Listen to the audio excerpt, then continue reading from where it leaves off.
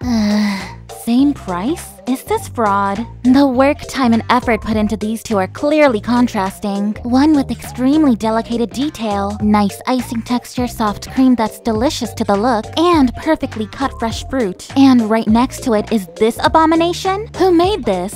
Ah! Oh my gosh, two cakes!